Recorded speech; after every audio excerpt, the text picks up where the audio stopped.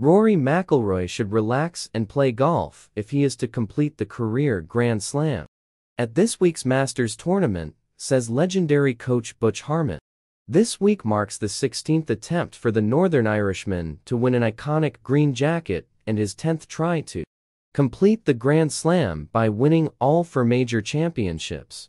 It seems like a lifetime ago now that the two-time DP World Tour Championship winner lifted major silverware, with his last victory coming at the 2014 PGA Championship.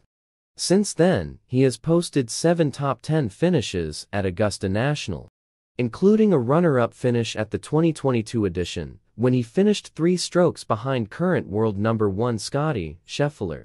In a bid to get a competitive edge ahead of this year's edition, the 34-year-old paid Harmon a visit last month, something he has done multiple times during his career, for a lesson from the man who was behind Tiger Woods and Phil Mickelson's Masters victories.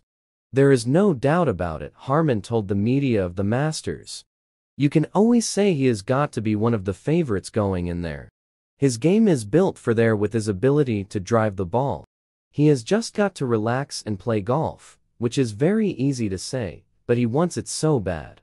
We want it for him. The press wants it for him. The fans want it for him.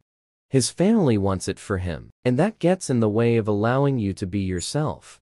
I think if he can just go and be Rory McIlroy, he is going to have a great time. And have a great chance on the back nine on Sunday. Which is all you can live for.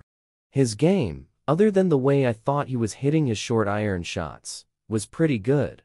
McIlroy has struggled with his game since winning the Dubai Desert Classic for a record-breaking fourth time in January only finishing inside the top 10 once in six starts on the PGA Tour. Approach play was a particular area Harmon and McIlroy worked on in Las Vegas last month, with the latter also describing Harmon as half golf coach, half psychologist. At TPC Sawgrass the players he made 26 birdies and finished like 20th, said Harmon. For his bogeys, he was missing greens with 9 irons and wedges, so that was some of the work we did. We were trying to get his swing from what I would call 150 yards in, which is where he plays most holes from, and control the distance of the ball and the shape of the shot. We worked hard on that. There were a couple of little, minor fixes to his swing that unless I showed you the film, you probably wouldn't even recognize them.